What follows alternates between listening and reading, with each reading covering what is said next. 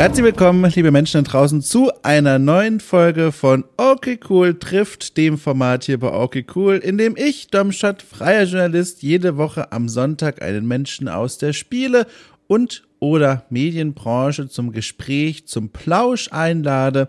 Und genauso war es auch diese Woche wieder. Ich hatte zu Gast die Katrin Radke, äh, Katrin hat in der Vergangenheit eine ganze Menge an Sachen gemacht, zuletzt vor allem äh, bei Studio Fitzbin, ein Entwicklerteam, das ja hier jetzt schon ein, sogar zweimal zu Gast war bei Okay Cool in dem Okay Cool Drift Format.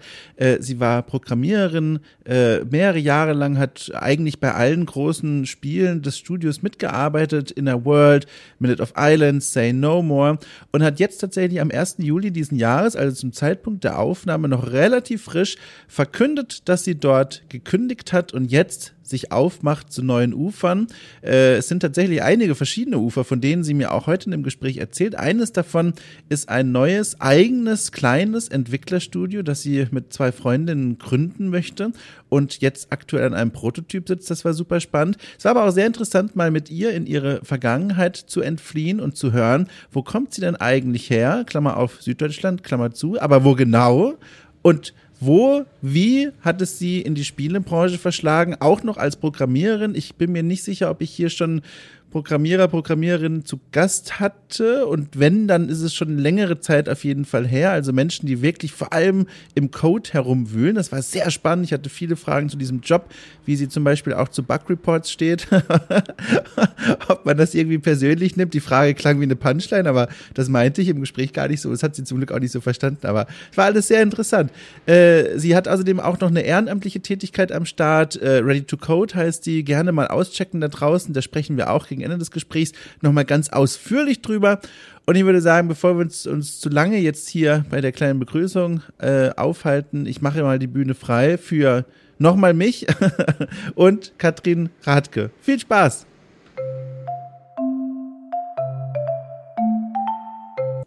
Ich glaube, eine Sache muss ich vorher noch loswerden. Die fiel mir quasi auf dem Weg zur Bühne noch ein, bevor ich mich in meinen Interviewstuhl setzen konnte. Ich sollte vielleicht noch ein weiteres Projekt von Katrin verraten, weil wir uns auf das auch einige Male noch beziehen werden. Und zwar, sie arbeitet auch mittlerweile äh, seit Ende letzten Jahres, äh, also Ende 2020, bei So Many Tabs mit, ein Format bei Funk, äh, das sich dreht um ganz verschiedene Themen boah, rund um Netzkultur, Techkultur, äh, vom Netflix-Algorithmus bis hin zu irgendwelchen Themen rund um, oh Gott, Krypto, hm, Bit, hm, also alles, was sich im Internet irgendwie abspielt. Dort gibt es immer sehr kompetente, aufklärende Videos, weiterführende Videos rund um diese Themenkomplexe. Sie macht da eine richtig tolle Arbeit und über auch die sprechen wir bei unserem Gespräch, das ihr jetzt aber wirklich endlich hören könnt. So, ich bin raus, ich bin weg, wir hören uns jetzt gleich schon wieder. Wie ist das denn eigentlich gerade überhaupt bei dir? Also das ist ja jetzt mitten in der Woche, in der wir uns treffen und ich war tatsächlich überrascht. Ich hatte damit gerechnet, dass du äh, erst nach den normalen äh, ähm, Arbeitszeiten Zeit hättest für mich. ähm, ja, das liegt daran, dass ich äh, nicht mehr normale Arbeitszeiten habe. Ich habe äh, vor zwei Monaten gekündigt. Oh, ich habe den Tweet gesehen. Ich habe den Tweet gesehen ja. äh, vom 1. Juli, ne? Da hast du gesagt, so tschüss, äh, genau. bin, hallo neues Abenteuer. Genau, ja, das war es dann. Ich habe genau fünf Jahre da gearbeitet, auf den Tag genau. Und jetzt äh, geht's los, jetzt geht was Neues los. Krass, krass. wie, wie ist es? Wie ist es? Ist es aufgeregtes Gefühl? Wie, wie fühlst du dich? Ich fühle mich sehr gut, äh, muss ich ganz ehrlich sagen. Das hätte ich nicht so erwartet, weil es jetzt halt auch was ganz Neues ist und ungewohnt und, und auch so ungewiss, ne? Aber mhm. ähm, es ist irgendwie auch sehr befreiend, jetzt einfach mal, ja, ich kann jetzt halt machen, was ich will, worauf ich Lust habe. Ich muss natürlich gucken, dass ich damit dann irgendwie Geld verdiene, hoffentlich. Ja. Aber ähm, ja, das fühlt sich sehr gut an. Hast du lange mit dieser Entscheidung herumüberlegt oder war das, war das so eine irgendwann so eine Impulsentscheidung, du warst auf und sagst so, jetzt wage ich mich quasi in die Selbstständigkeit? also der Gedanke, der ist schon ganz, ganz lange so bei mir im Kopf. Der ist jetzt nicht neu, so auf jeden Fall. Ähm, aber der war nie so richtig präsent oder nie so richtig im Vordergrund, so dass ich gesagt habe, okay, ich muss jetzt irgendwie ähm, da aktiv dran arbeiten, dass ich mich dann selbstständig mache, sondern das war so, ich mache das irgendwann. Mhm. Ähm, und jetzt war es so, dass ähm, im Mai bei Studio Fitzbin so einige Leute gekündigt wurden, die für mich auch sehr wichtig waren. Mhm. Ähm, und das hat eben dazu geführt, dass halt zu diesem Zeitpunkt halt auch Leute frei in Anführungsstrichen waren. Ähm, gute Leute, die, ne, mit denen ich jetzt äh, mich zusammengetan habe und ich gedacht habe, okay, jetzt oder nie. Mhm. So. Und das war dann so der Stups, wo, den ich so gebraucht habe, der letzte Arschtritt, der mir dann gesagt okay, jetzt mach das halt mal, du willst es schon so lange machen. Jetzt ist dann der Zeitpunkt. Was hat dich denn so die ganze Zeit gereizt an dieser, an dieser Selbstständigkeit? Also es gibt, ich kann mir viele Gründe vorstellen, ich, bin ja selber auch selbstständig. Was waren denn so deine Gründe, dass du gesagt hast, so, das willst du mal ausprobieren wenigstens?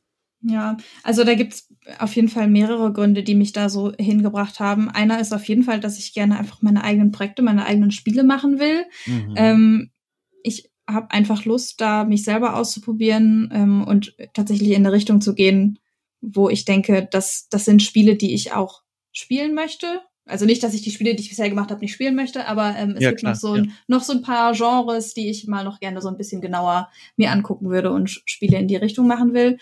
Und dann auch einfach, ich ähm, mache jetzt ja seit Ende letzten Jahres YouTube. Mhm. Ähm, und das war immer so ein bisschen so ein Struggle, das zusammenzukriegen, weil ich dann immer irgendwie nach Berlin gefahren bin zum Drehen und dann musste ich Urlaub nehmen und dann war das manchmal schwierig, weil dann sind da Meetings oder irgendwelche Sachen müssen fertig werden. Und dann hängen da halt immer noch sehr viele Leute dran.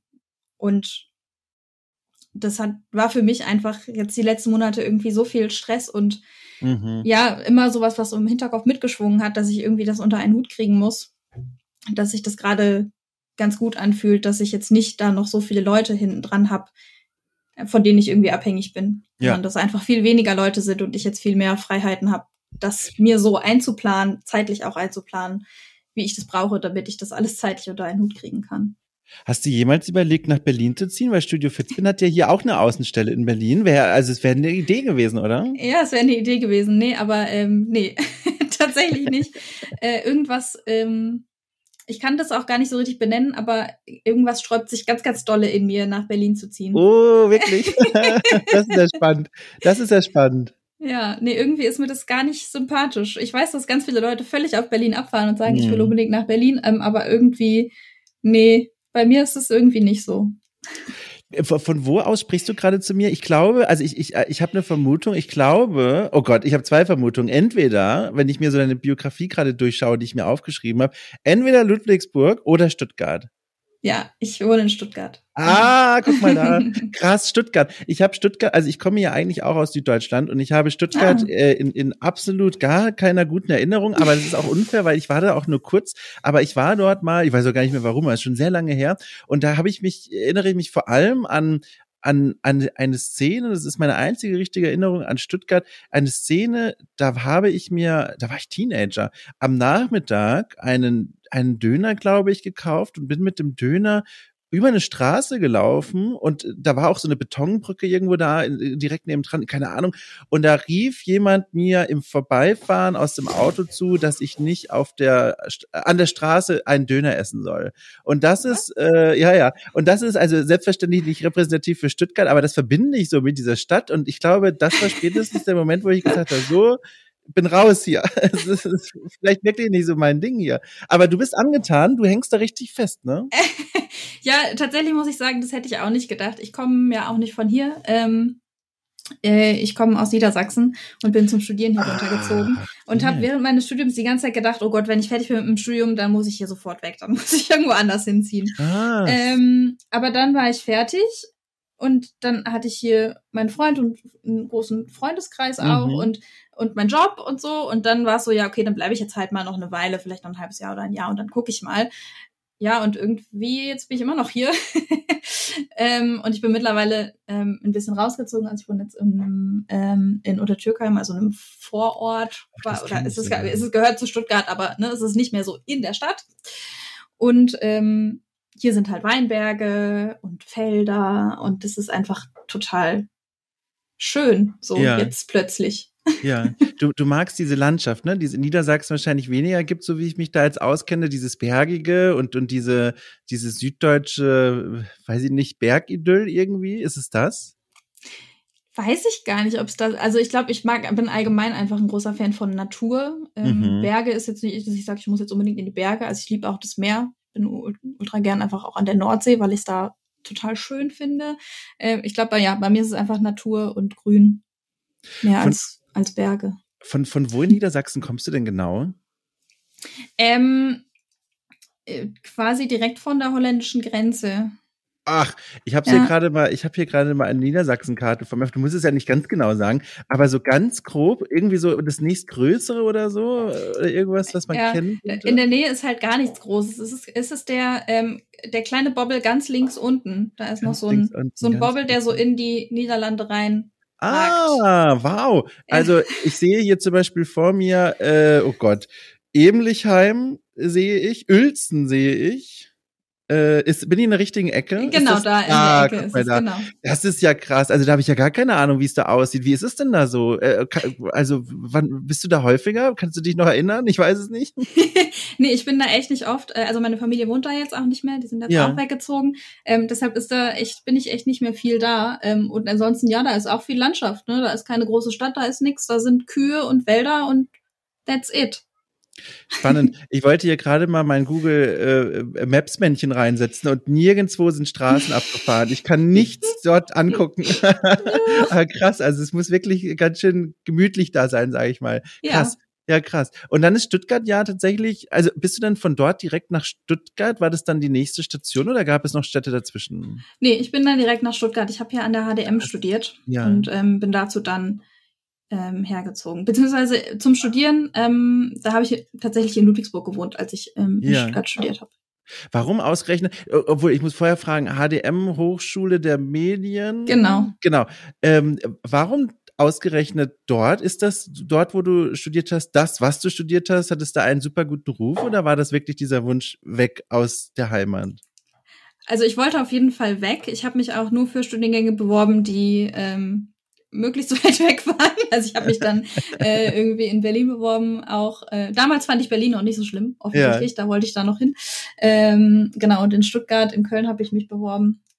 Aber ähm, ja, letztendlich ähm, war das damals so, also ich hatte mich tatsächlich für Designstudiengänge eigentlich beworben. Also ich wollte mhm. eigentlich sowas Richtung Kommunikationsdesign studieren ähm, das, was ich studiert habe hier, das heißt mobile Medien, das ist nicht direkt Design, sondern das ist ein bisschen so eine Mischung aus Informatik und Design.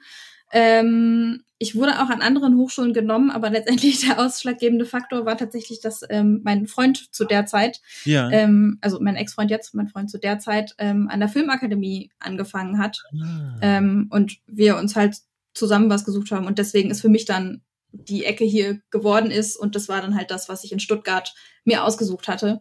Ähm, und ich bin tatsächlich einfach ultra froh, dass es das geworden ist, weil die Hochschule total gut für mich war. Also für mich persönlich war es einfach genau das Richtige, weil sonst hätte ich halt tatsächlich, habe ich, Design gemacht und gar mhm. nicht gemerkt, dass Programmieren ja eigentlich ist, mache ich ja jetzt.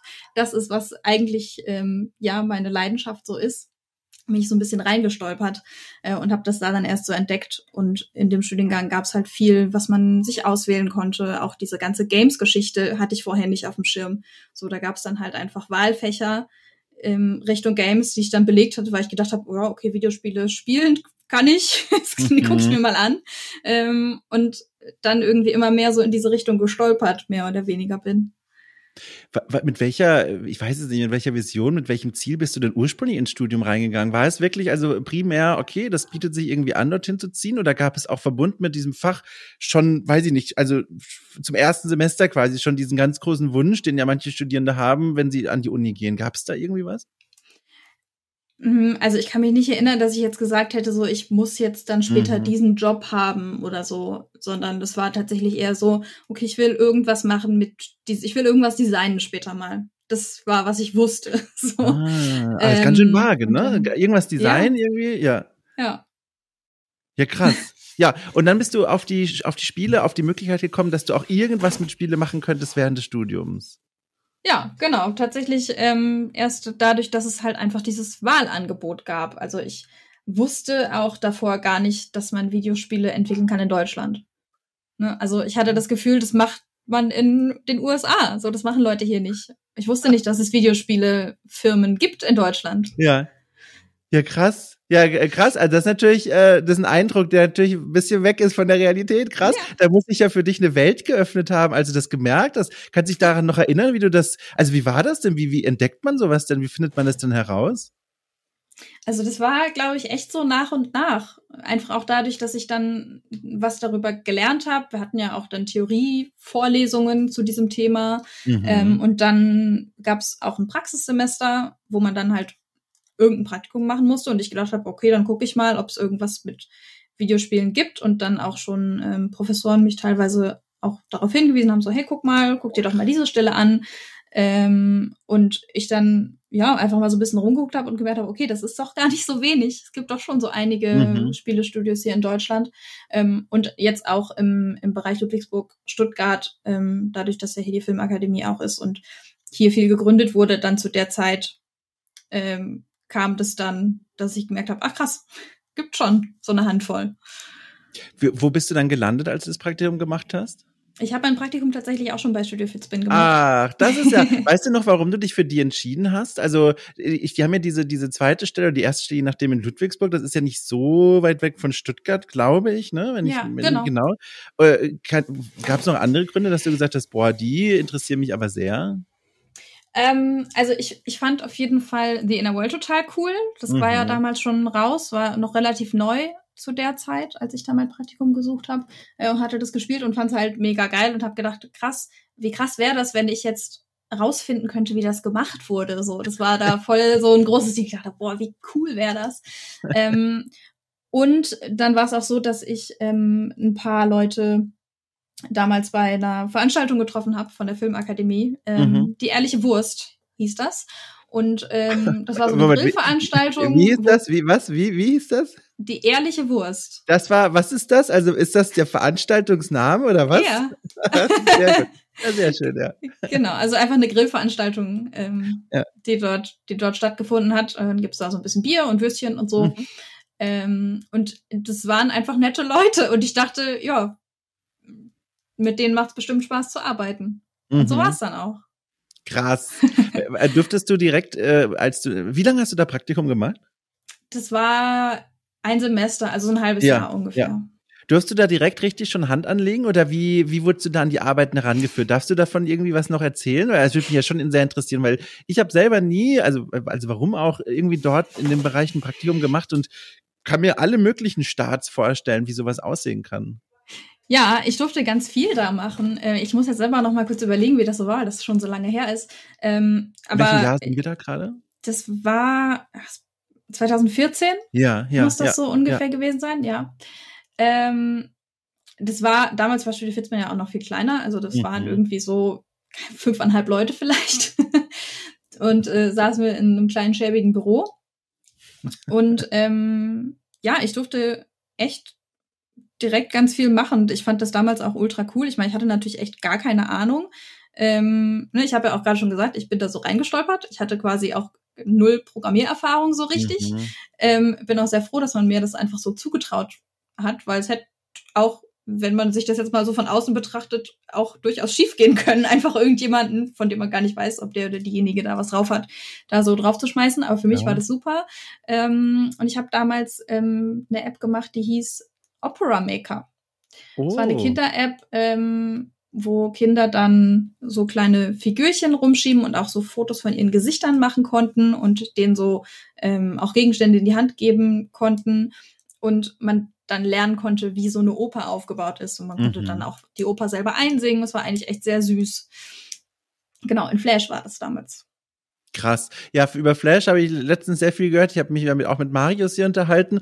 Äh, Marius Winter, der auch bei ja. Studio Fitzbin lange war, hat er auch viel von Flash erzählt. Auch das ist für mich eine Wunderkiste, auf die ich von außen drauf gucke. Äh, vielleicht mal für Kontext Programmiererfahrung habe ich quasi gar keine. Ich habe mal versucht, so eine Art, na, wie heißt das denn? Oh Gott, da fängt es ja schon an äh, dieses Spiel, bei dem man in einem geschlossenen äh, Raum einen Ball nach oben schlägt und dann muss der gegen Gegenstände knallen und löst dann die Gegenstände auf und fällt dann wieder nach unten. Dann muss man den wieder zurückschlagen mit so einer mit so einer Plattform. Ich glaube, das ist gerade die umständlichste Art, irgendeinen so Spieleklassiker zu beschreiben. Aber weißt du, was ich meine? Gibt es auch tausend Handyspiele davon? Ja, heißt das Blockbreaker oder Brickbreaker oder ja, so sowas genau, irgendwie sowas, genau ja. richtig. Das habe ich mal versucht nachzubauen und das war zum einen total cool zu merken, ich gebe hier komische abstrakte Dinge in dieses Programm ein und dann am Ende kommt da was grafisches raus, aber also sonst bin ich da, gucke ich da drauf, völlig ahnungslos, aber neugierig.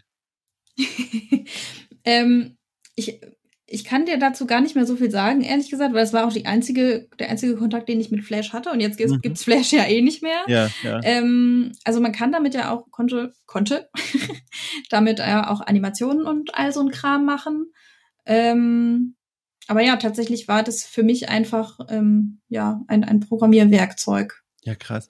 Aber sag mal, warum eigentlich keine Selbstzweifel an diesem Punkt? Das ist doch wirklich krass. Du hast ja gerade schon eben selber gesagt, du so ein, so ein in so ein richtiges äh, Spieleteam kommst du rein, machst ein Praktikum äh, in einer Welt, die sich dir jetzt ganz neu erstmal offenbart hat. Also ich ich wüsste nicht, ob ich an deiner Stelle mir zugetraut hätte zu sagen, okay, komm, äh, ich mach das jetzt einfach mal. Bist du einfach als Mensch so oder warst du da irgendwie völlig von Adrenalin besessen oder, oder was, was war da was war da los?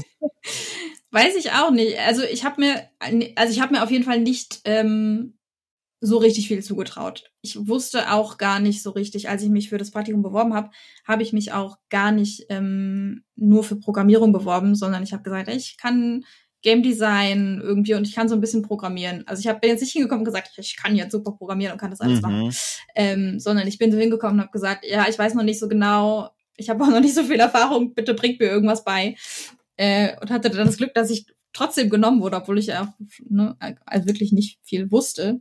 Ähm, aber irgendwie glaube ich, dass auch so dieses, dass man mir das zugetraut hat und einfach gesagt hat, hier, mach das mal und wenn du Fragen hast, frag.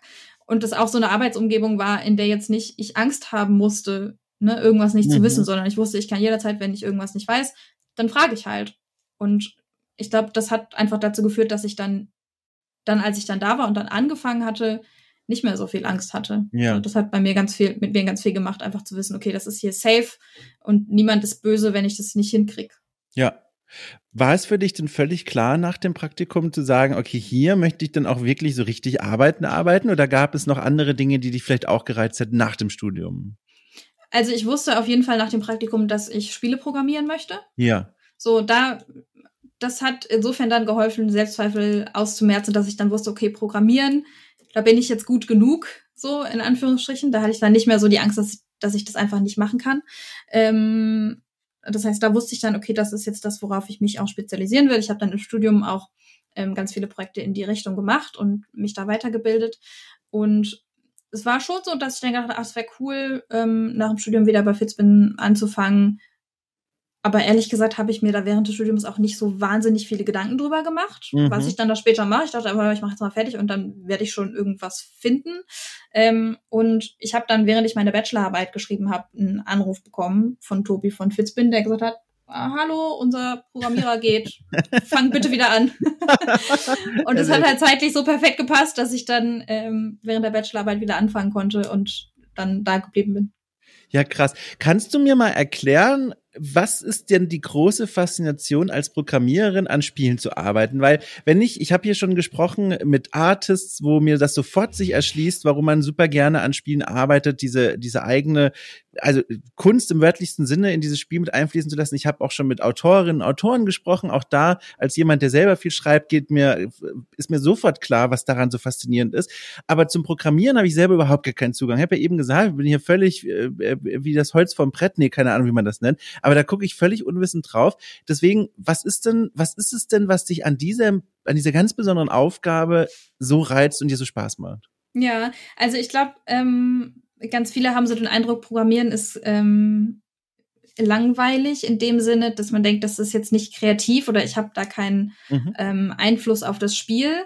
Aber tatsächlich ist für mich der Eindruck, dadurch, dass ich ja jetzt auch in einem Indie-Game-Studio gearbeitet habe, ich habe ganz, ganz viel Einfluss auf das Spiel dadurch, dass ich es programmiere, weil ich erweckt es zum Leben, weil wenn ne, man kann eine schöne Animation machen, aber die ist nicht interaktiv, solange ich der Animation nicht gesagt habe, wenn ich auf diesen Button drücke, dann springen. Ähm, und ich habe so das Gefühl, okay, jemand hat sich was ausgedacht, es gibt so ein Konzept und dann komme ich und mache Magie und dann ist das Konzept echt. So, dann ist aus dem, was, was in jemandes Kopf war, ist was geworden, was man anderen Leuten zeigen kann, wo andere Leute dann Spaß dran haben, das zu spielen. Ähm, und irgendwie ist das für mich ein Gefühl, das ist sehr rewarding. Mhm.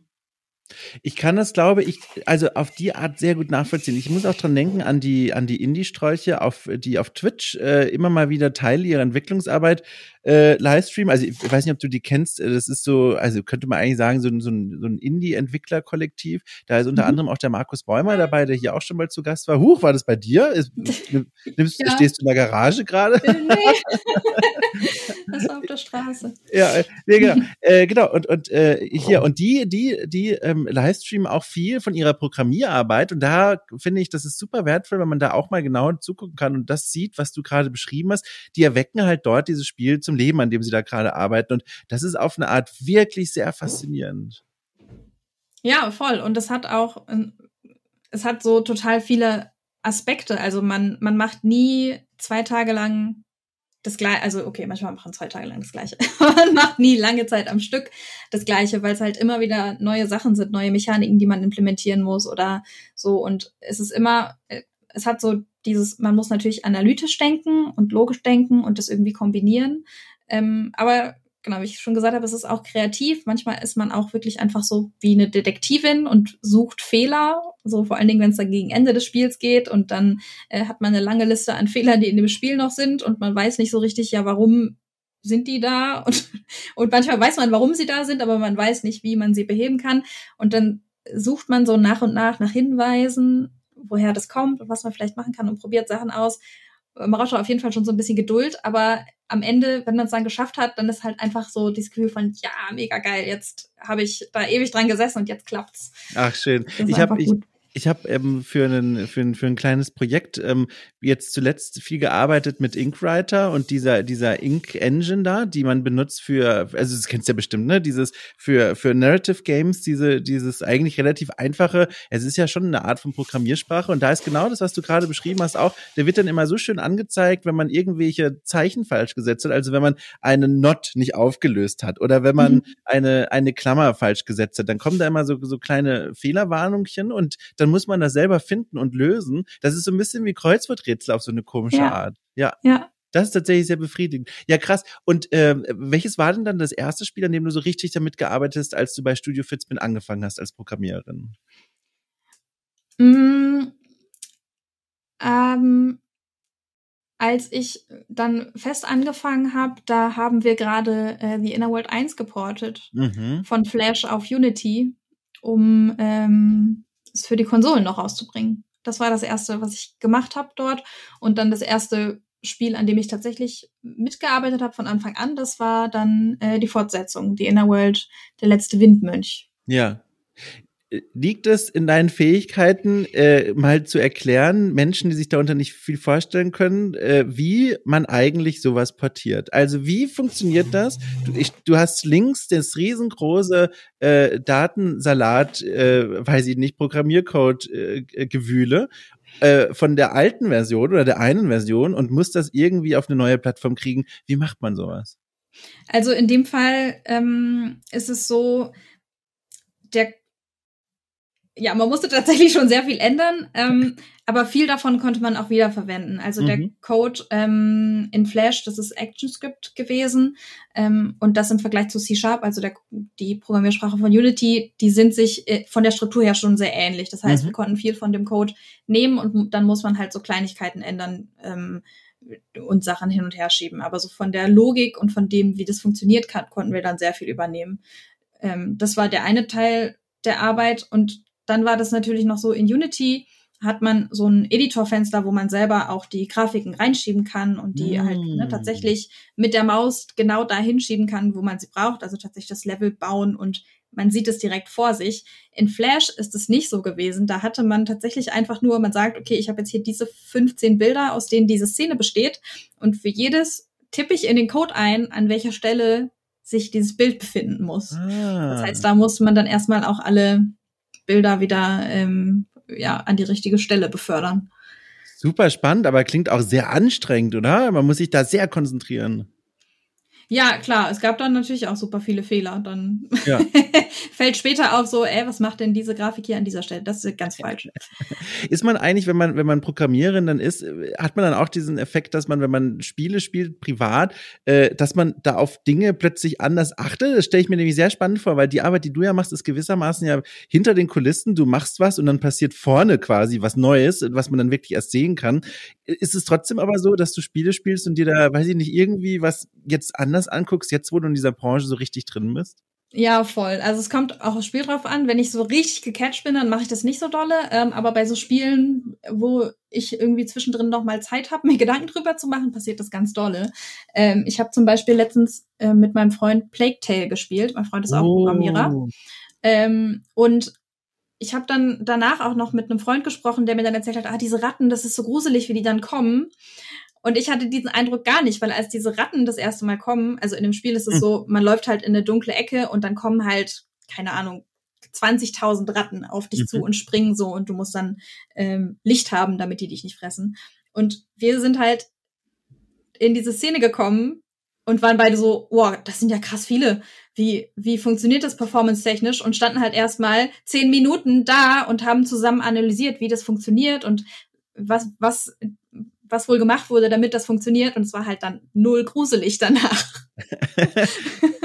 Aber wie, wie, wie, wie, also wie kann man sich das dann erklären, wenn man da von vorne drauf guckt? Also wie, wie sieht dann so ein Gedankengang aus, wenn man sich diese, jetzt in dem Fall 20.000 Ratten anschaut? Man guckt halt einfach aus seiner eigenen Erfahrung, wie würde ich's machen, wenn ja. mir jemand sagen würde, da müssen jetzt 20.000 Ratten springen. Ähm, wie würde ich das dann machen? Dann würde ich mir wahrscheinlich überlegen, okay, Ratten, die weiter im Hintergrund sind, die müssen nicht so detailliert aussehen, die haben vielleicht ein, ein Model, das ähm, viel weniger Polygone hat oder die Texturen mhm. sind nicht so hoch aufgelöst. Ähm, und vielleicht brauchen die auch nicht so, müssen die nicht sich so intelligent bewegen und irgendwie auf irgendwas reagieren. Ne, die Ratten im Vordergrund müssen natürlich auch auf das Licht dann reagieren und so. Ähm, und dann guckt man, ob man dafür auch Hinweise finden kann. Einfach dann schauen, okay, ah, ich sehe jetzt schon bei denen im Hintergrund, die Ratten sind tatsächlich auch nicht so hoch aufgelöst. Mhm. Ja wird dann, also so eine, also ich, also wenn ich da so zuhöre, denke ich mir, okay, das ist super spannend. Auch so eine Art wieder so eine, so eine, so eine, so eine Herum-Nachdenkerarbeit, fast wie so eine Detektivarbeit. Wie gehe ich am besten mit diesen technischen Ressourcen in dem Fall um, die ich habe? Ich kann mir aber auch vorstellen, mit fortschreitender technischer Entwicklung, dass diese Fragen irgendwann egal sind, weil man dann auf, auf Systemen operiert, die einfach so leistungsfähig sind, dass man das gar nicht mehr berücksichtigen muss. Ist da, geht dann nicht drohenderweise irgendwann in der Zukunft ein super spannender Aspekt der Arbeit verloren? Ich glaube, der geht nicht verloren, mm, weil wir haben uns einfach in der Vergangenheit dann andere Gedanken über andere Sachen gemacht. Ne? Also wahrscheinlich hätte man einfach vor fünf Jahren gesagt, 20.000 Ratten, no way. Ge geht nicht. So, ähm, und ich denke, in der Zukunft wird man sich dann sicherlich ähm, im Game Design Department neue Sachen ausdenken, mhm. die technisch herausfordernder sind. Und ich glaube, da gibt's nach oben kein Ende. Also auch wenn man sich jetzt so anguckt, was ähm, jetzt so in der Darstellung von, in so, in so ganz realistischer Darstellung, was da so heutzutage geht. Ähm, ich glaube, da sind wir noch lange, lange nicht am Ende. Gibt es ein Spiel, was du, weiß ich nicht, was du so im Kopf hast, wo du sagst, okay, das ist gerade der Maßstab in genau auf die, also in Hinblick auf genau die Sachen, mit denen du dich auch beruflich auseinandersetzt? Wie genau meinst du es? Also die Arbeit als Programmiererin, die, die, die, die stellt ja an dich besondere Herausforderungen und du musst, wie du eben ja gerade auch beschrieben hast, manche Dinge besonders gut im Blick haben, wie man zum Beispiel so eine Performance schafft und so. Gibt es da an das du denkst, wo du sagst, okay, da haben die Programmierer einfach so gute Arbeit geleistet, das ist quasi Vorzeigeprimus gerade? Mm, nee, das kann ich ganz schwer sagen. Ähm, ich glaube, also ganz viel passiert ja auch im AAA-Bereich, ähm, ja. dass man sagt so, okay, das ist jetzt hier irgendwie der Maßstab, an dem sich alle messen müssen. Aber da bewege ich mich ja gar nicht. Also als, ja. als, als Indie-Entwicklerin ähm, sind das ja Sphären, von denen bin ich so weit entfernt, dass ich mir darüber gar keine Gedanken mache. Ähm, ja, schwer zu sagen. Ja, aber würde ich das mal reizen, dorthin zu wechseln in diese AAA-Branche, wo neue Regeln gelten, man auf neuen Systemen arbeitet? Nee, gar nicht. gar ähm, nicht? Nee, ich weiß nicht, ob sich das in der Zukunft noch mal ändert, aber bis jetzt habe ich immer gedacht, so, nee, ich habe echt gar keine Lust auf so viele Leute. Jetzt gerade, mhm. ähm, ne, gucke ich auch drauf, dass wir in den nächsten Monaten eben zu dritt sein werden. Äh, und das macht mich sehr froh, weil ich denke, mhm. da sind kurze Wege, da haben alle irgendwie ähm, einen großen Einfluss darauf, auch wie das Spiel wird. Und wenn man eben bei so einem AAA-Game oder also ich weiß ja nicht, ich habe ja noch nie im AAA-Bereich gearbeitet, aber ich stelle mir das so vor, dass man dann eben als ein, einzelne Person nicht so einen riesengroßen Einfluss darauf hat, wie das Spiel wird, jetzt, wenn man jetzt nicht vielleicht gerade Game Director oder mhm. so ist. Deshalb reizt mich persönlich das jetzt gerade nicht. Vielleicht in der Zukunft, wenn ich irgendwann so erfahren bin, dass ich denke, es ist mir jetzt alles zu langweilig hier. Dann vielleicht, aber ja, ja, damit sind wir auch schon wieder in, in, der, in der Gegenwart, weil das ist nämlich jetzt super spannend. Du hast nämlich ja schon ganz zu Beginn unseres Gesprächs angedeutet, ähm, dass äh, du dich jetzt mehr auf Spieleentwicklung, äh, auch deine eigenen Ideen konzentrierst. Was genau macht ihr da dann eigentlich zu dritt? Ich hab, weiß nämlich davon gar nichts. Ich weiß auch nicht, ob man davon schon irgendwo was erfahren kann. Was genau passiert denn in dieser Hinsicht da bei dir in der Zukunft? Was, was plant ihr denn da? Also wir sind auf jeden Fall noch ganz, ganz dolle in der Planung. Ja. Ähm, deshalb kann ich dir nicht so viel sagen. Und zwar ja. nicht, weil ich dir nicht mehr sagen will, sondern weil ich es einfach selber noch nicht weiß. ich würde wahnsinnig gern viel mehr erzählen, aber äh, es ist gerade alles noch so, oh, we will see. Ja. Ähm, Nee, aber ähm, wir arbeiten gerade an einem Konzept, das wir für eine Förderung einreichen wollen, Ende des Monats ähm, bei der MFG hier in Baden-Württemberg. Mm, und hoffen natürlich, dass wir dann die Förderung auch kriegen und dann ähm, einen schönen Prototypen erstellen können für ja unser erstes Spiel. Spannend. Ja. Kann, kannst du schon verraten, äh, in welche Richtung man sich das dann vorstellen kann? Genre, ich weiß es nicht, Themen. Äh, ja. ja. ähm, also ich, ich selber bin ganz großer Fan von, ähm, von so Farming und Life Simulation, so oh. was so Richtung Animal Crossing, Stardew Valley, ähm, Harvest Moon war so auch eins der ersten Spiele, die ich hatte, als ich Kind war. Und das war so für mich das Spiel, das ich mhm. einfach mega geil fand. Ähm, und klar ist es für ein Team von drei Leuten gerade absolut unrealistisch. Also ich meine, Stardew Valley wurde auch von einer Person gemacht, aber die hat dafür ewig gebraucht und war danach völlig mhm. durch. Das möchte ich mhm. nicht. Ähm, aber ja, das ist auf jeden Fall die Richtung, in die wir uns bewegen. Ähm, und natürlich haben wir auch noch den Fitspin-Background ähm, von narrativen Spielen. Das heißt, es wird auf jeden Fall auch ähm, um Geschichten gehen, um, um Charaktere. So, das ist was, was wir jetzt schon mal so ungefähr wissen, in welche Richtung es geht. Also ich möchte da jetzt kein, kein, wie sagt man, kein Floh ins Ohr setzen, aber was ich mir wünschen würde, wären richtig tolle äh, Tavernensimulationen wo du, also das geht ja auch so ja, gewisserweise in so eine Richtung wie Stardew Valley, weil das ja auch so ein Management-Ding ist, man baut sich was Kleines, Eigenes auf, das auch so ein bisschen dann automatisiert funktioniert. Das wäre was, wo man wirklich sagen kann, so, man baut eine kleine Taverne, man kann entscheiden, was dort auf die Tische kommt, zu essen, zu trinken, man kann meinetwegen, also auch zum Beispiel sagen, hier, ich stelle einen Türsteher hin und der sagt dann, wer reinkommen darf und wer nicht. Und ich lege Preise fest. Und das vielleicht noch in so einem Fantasy-Setting, also ich gucke danach, äh, voller Inbrunst. Bisher entdeckt habe ich Traveler's Rest. Das ist schon gar nicht so schlecht, das geht schon in diese Richtung. Aber das wäre was, da habe ich das Gefühl, da liegt noch viel Gold auf der Straße. Ja, das klingt auch sehr süß.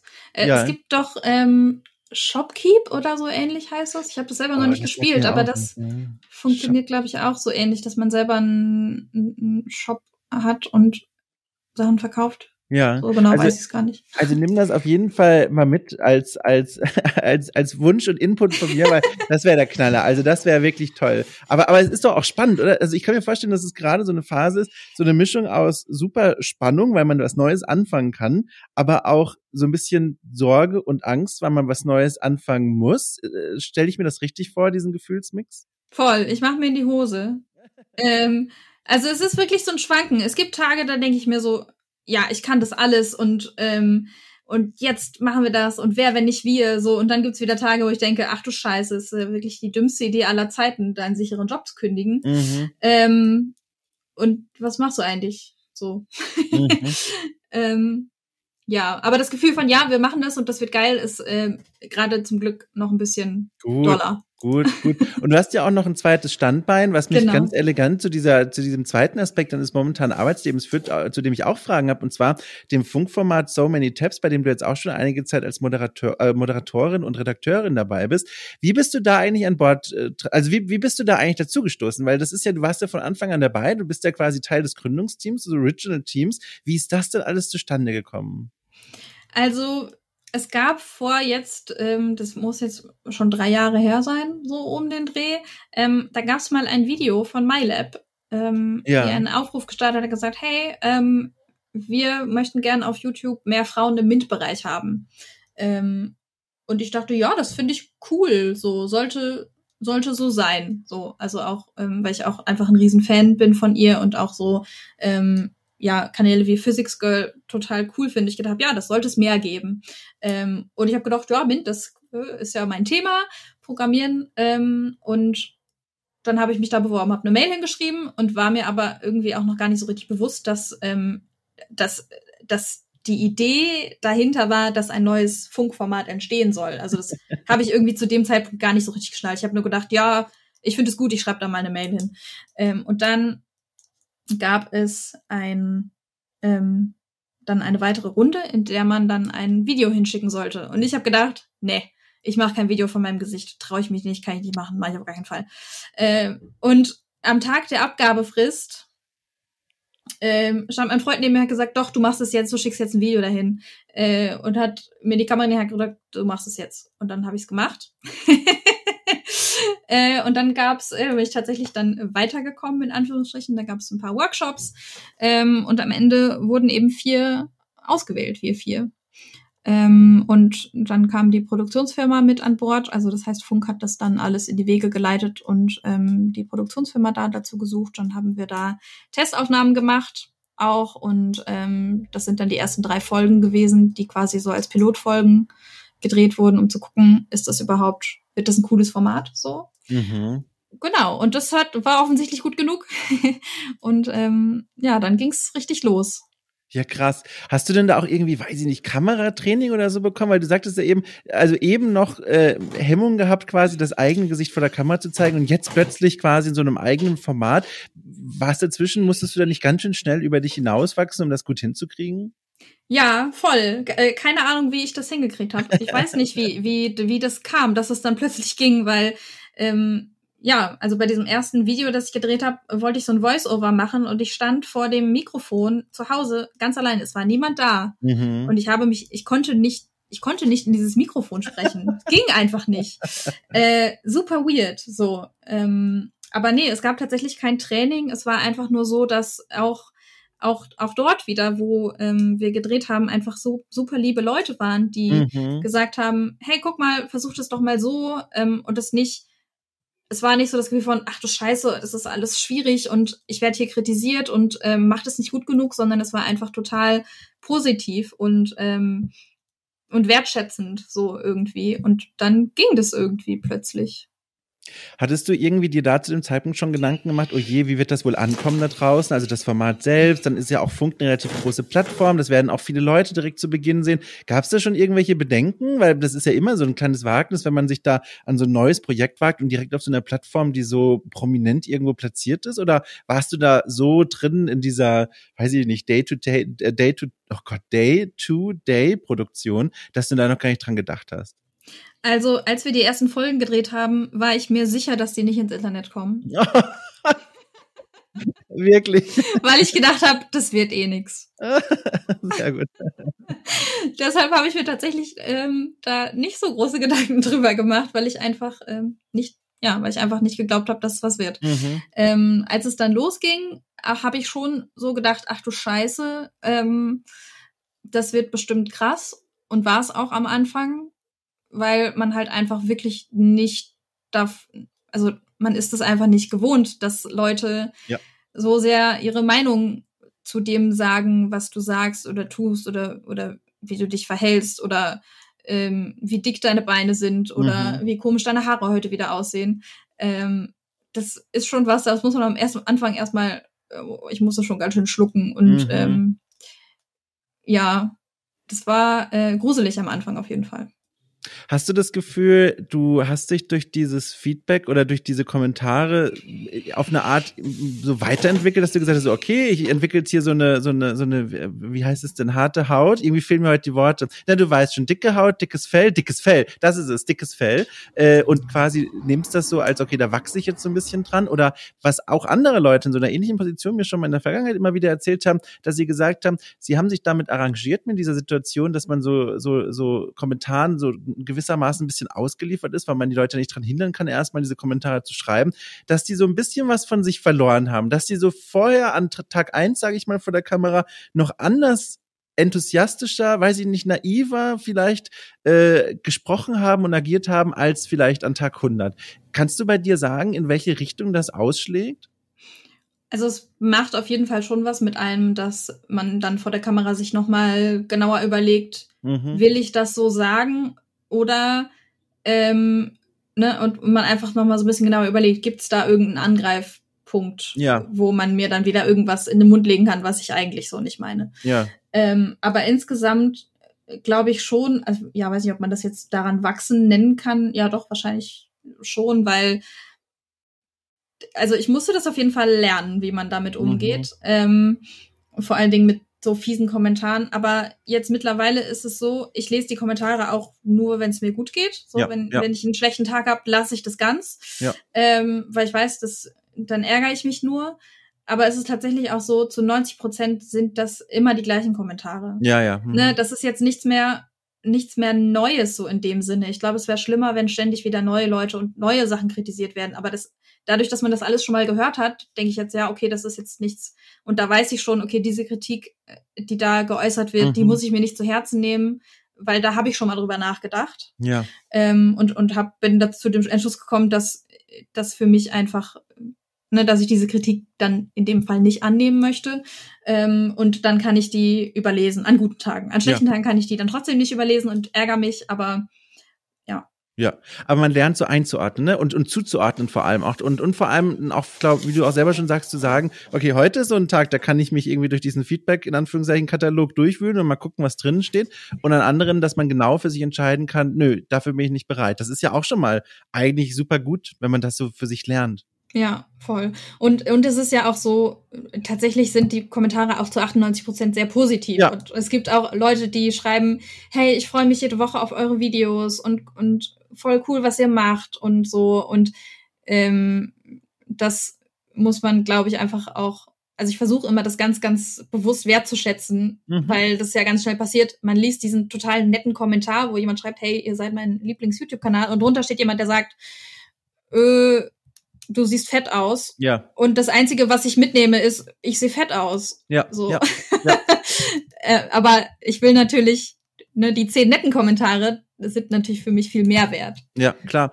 Und das Gemeine ist auch, und das glaube ich, kennen sehr viele Menschen, also ich kenne das auch, dass man die guten Sachen, die liest man und die liest man in diesem Moment und freut sich dann und dann, mhm. dann, dann halt das schon langsam wieder so aus aus dem Kopf. Genau. Aber doverweise, die negativen Sachen, die liest man und dann bleiben die im Kopf und dann wiederholt man die sich im Kopf und man denkt nochmal drüber nach und die sind viel präsenter und viel länger präsenter, bis ja. man mal irgendwann lernt zu sagen, also zumindest hat es bei mir geholfen, sich selbst zu sagen, so, jetzt reicht doch jetzt. Es macht doch keinen Sinn, sich über sowas Gedanken zu machen, abhaken und weitergehen. Und das ist, glaube ich, so eine super wichtige Lektion, die man irgendwie dann lernen muss. Ja, auf jeden Fall. Ist auch bei äh, Rezensionen für, von unseren Spielen. Oh Gott, ja. Genauso. Da kommt ja auch manchmal, wo man das liest und denkt, wow, da fand das jemand richtig scheiße. Ist es wirklich so scheiße? So haben wir nur gedacht, dass es cool ist. Nimmt man eigentlich als Programmiererin Bug Reports persönlich? Also, weil das mhm. ist ja quasi das, was du gemacht hast. Also, das ist ja so, stelle ich mir das vor, wenn jemand sagt, das Artwork ist scheiße vor dem Spiel, dann sagt ja auch der Artist, boah, also das ist ja, das geht mir vielleicht ein bisschen näher. Sind das bei dir dann Bug Reports? Das kommt drauf an. Es sind ja auch nicht alle Bug Reports ähm, immer gleich automatisch ja. ähm, Dev-related. So manchmal ist ein Bug-Report auch einfach ein GD-Problem oder ja. ähm, ein Art-Problem. Ähm, und es kommt natürlich auch ganz doll drauf an, wie das formuliert wird. Mhm. Ähm, wie, wie wertschätzend oder wie, ob jemand einfach nur sagt, öh, was ist hier schon wieder für ein Scheiß, ähm, mhm. könnt ihr nicht mal ordentliche Arbeit machen. Weil in 90 Prozent der Zeit ist es ja so, Bug-Reports, die ankommen von SpielerInnen, die kenne ich schon. Mhm, ne? Also das ist jetzt mhm. nicht, dass ich denke, ach krass, das ist, das ist jetzt ein Fehler in dem Spiel, sondern ich denke, ja, ich weiß, ähm, aber das ist aus diesem und diesem Grund halt nicht gefixt worden, weil ne, der Zeitplan sagt, das Spiel muss raus und der, der, die Bugliste ist lang. Ne? Ja. Und dann kann man sich halt nur noch zehn von den 300 Bugs raussuchen, die man noch mhm. fixen kann in der Zeit. Und die restlichen bleiben da halt. Hast du eigentlich während dieser Entwicklungszeit, du hast das schon gerade so ein bisschen angerissen, man kommt natürlich dann irgendwann muss das Spiel ja raus, auch schon mal in sowas wie eine, weiß ich nicht, eine Crunch-Phase reingeraten oder Phasen, in denen du gemerkt hast, so, boah, also jetzt wäre mal ein kleiner Urlaub richtig gut. Kennst du sowas oder hast du bisher Glück gehabt und bist da dank guter Planung des Projekts und so weiter da drum rumgekommen? Ganz drumherum gekommen bin ich leider nicht. Ja. Also es hat noch, ist es noch nie so ausgeartet wie äh, was man manchmal so hört von mhm. AAA-Studios irgendwie 100 Stunden in der Woche. Mhm. Ähm, da weiß ich auch gar nicht. Also ich verstehe wirklich nicht, wie Menschen das körperlich machen können, weil ja. ich kann einfach das nicht. Das weiß, weiß ich mittlerweile. Ähm, aber wir hatten schon auch mal harte Phasen, ähm, die, wo ich dann auch gemerkt habe, ähm, dass ich das nicht kann. So. Also ja. beim letzten ähm, Crunch musste ich auch früher aufhören, weil es einfach ja. nicht ging. Äh, wie viel, also äh, wie, wie kann man sich genau vorstellen? In dem Fall war das dann, also wie war, sah dann dann so ein Arbeitstag aus? Also bis also man, ich, ich, man kennt halt sehr viel diese Extremgeschichten natürlich von im Büro schlafen bis hin zu nie wieder nach Hause gekommen. Kannst du so ein bisschen illustrieren, wie das bei dir aussah?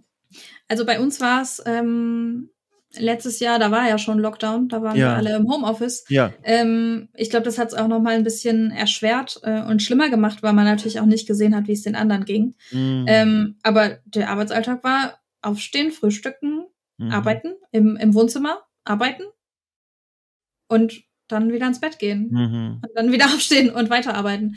Äh, und dadurch, dass man halt dann wirklich einfach nichts anderes mehr gesehen hat, außer den den Arbeitsplatz im Wohnzimmer und das Bett, äh, war das, glaube ich, auch nochmal extra schwierig, weil ja. man auch nicht, man hatte auch dann keinen Kontakt zu den anderen ne, und konnte auch nicht sehen, geht's denen schlecht, geht's denen gut, kann ich vielleicht irgendwas äh, helfen, dass es denen besser geht oder so, sondern es war einfach nur, jeder sitzt da halt alleine vor seinem Rechner äh, 10, 12 Stunden. Das war scheiße. Ja. Scheiße. Aber äh, ich, ich höre so raus und von dem, was man ja auch dann mitbekommt von deiner Arbeit, du bist dann noch ganz gut rausgekommen offenbar. Ne? Also so zumindest, dass du dann nicht gesagt hast, boah, also auf diese Branche habe ich keine Lust mehr, will ich nie wieder sehen.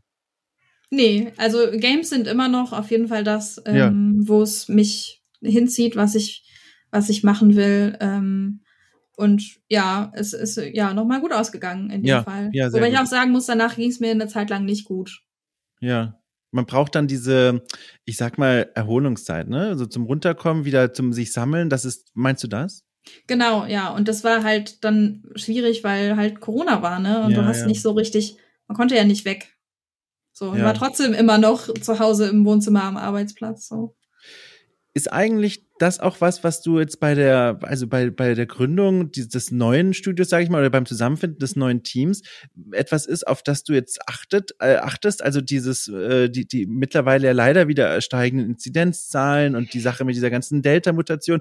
Sind das so Sachen, die man jetzt im Blick hat als Entwicklerin, Programmiererin, die sich da jetzt in diesem Bereich selbstständig machen will und dann sich überlegt, okay, das könnte auf eine irgendeine Art für uns als kleines Team Konsequenzen haben? Hm, ich glaube, wir haben uns einfach schon so dolle damit arrangiert, dass wir jetzt von zu Hause arbeiten, ja. ähm, dass das jetzt kein, kein so aktueller Gedanke ist. So, wir haben jetzt gesagt, wir arbeiten von zu Hause, das ist jetzt auch einfach erstmal günstiger ähm, und ein Büro können wir uns halt gerade noch nicht leisten. Mhm. Ähm, deswegen ist das ähm, tatsächlich jetzt nicht, nicht so in meinem Kopf, ja, was, was die Arbeit angeht. Ja, ja. So. Gut, ich wollte das auch nicht in den Kopf reinziehen. Ich habe nur gedacht, nur gedacht äh, ja, vielleicht, vielleicht ist da ja noch irgendwas los. Apropos noch was los. Es gibt noch eine Sache, die, die, da möchte ich unbedingt auch nochmal nachfragen. Denn in deiner, in deiner Biografie fand, habe ich auch was gefunden, was ich super spannend finde und wo ich mal gerne noch mehr von hören würde. Und zwar äh, deine ehrenamtliche Tätigkeit bei Ready to Code. Mhm. Kannst du mal erzählen, was hat es denn damit auf sich und wo spielt das gerade oder wie viel spielt das gerade in deinem Leben eine Rolle? Genau, letztes Jahr ähm, bin ich da dazu gekommen. Ja. Ja, doch, letztes Jahr. Ähm, Ready to Code ist ein Verein in Stuttgart, der sich für mehr Gendergerechtigkeit in der IT einsetzt. Also mhm. nicht nur Games, sondern generell ähm, alles, was so mit äh, Informatik zu tun hat. Und ähm, da bin ich dazu gekommen, weil wir hier in Stuttgart ähm, ein Meetup haben, das nennt sich Cocktails und Code.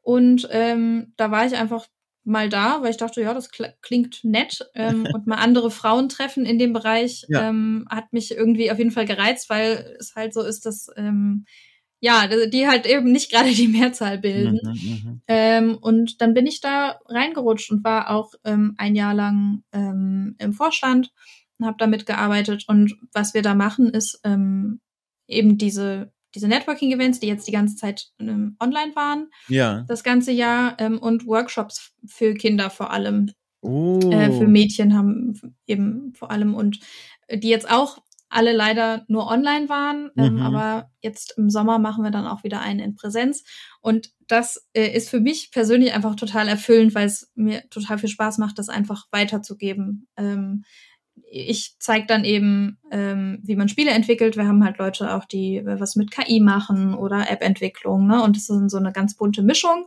Mm, und jetzt hatten wir eine Workshop-Reihe, die hieß Stay Home and Code, wo es jeden Mittwoch ein anderes kleines Thema gab. Und dann gab es so einen so ein Zwei-Stunden-Workshop, wo die Mädels dann ähm, jede Woche irgendwas gelernt haben. Webentwicklung, App-Entwicklung, ähm, Genau, das war sehr cool und ich freue mich auf jeden Fall jetzt auch, das dann wieder in Präsenz machen zu können, was einfach so viel Spaß macht zu sehen, was so junge Menschen ähm, sich ausdenken können, weil ja. wir haben halt schon so total im Kopf, okay, das geht, das geht nicht ähm, und das, das schränkt einfach die Kreativität schon automatisch ein bisschen ein, auch wenn man natürlich versucht, da immer so rauszukommen. Aber ähm, Kinder, bei Kindern funktioniert das noch ganz anders. Die haben überhaupt keine Schranken im Kopf. Die denken sich aus, in meinem Spiel ähm, will ich als Schmetterling rumfliegen und dann will ich äh, bis in den Himmel fliegen können oder so.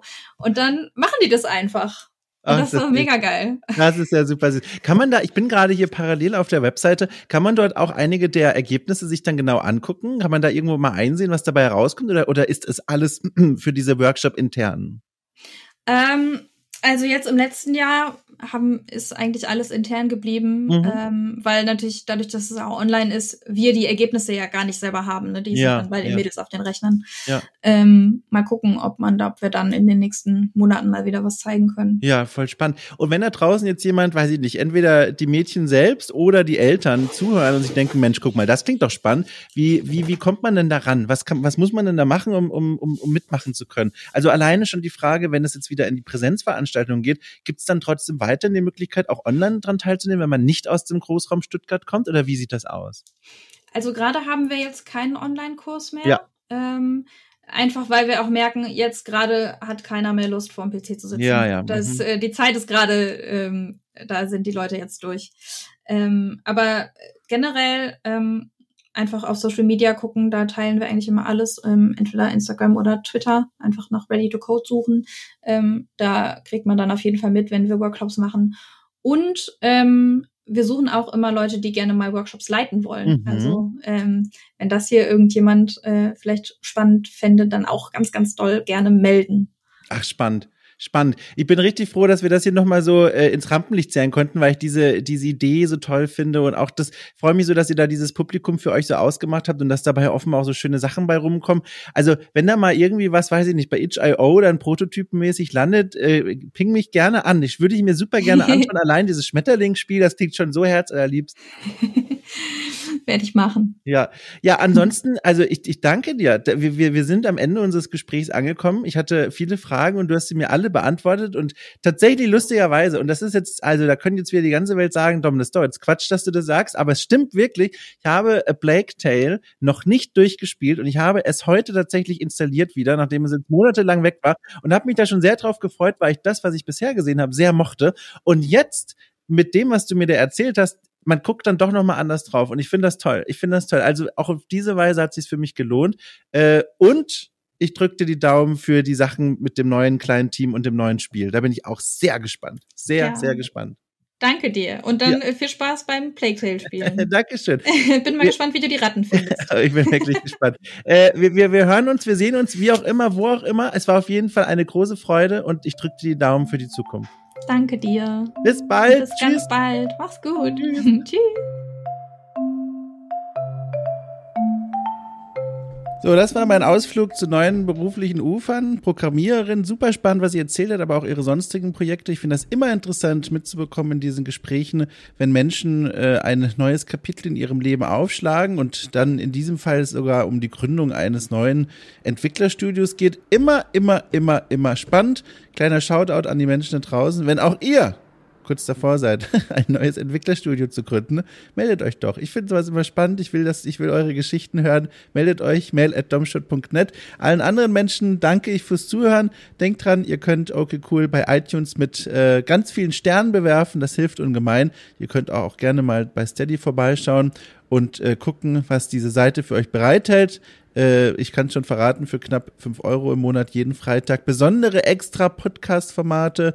Zuletzt zum Beispiel ganz frisch erschienen eine kleine Reportage, auf die ich sehr stolz bin, über Misophonie, der Hass auf Geräusche.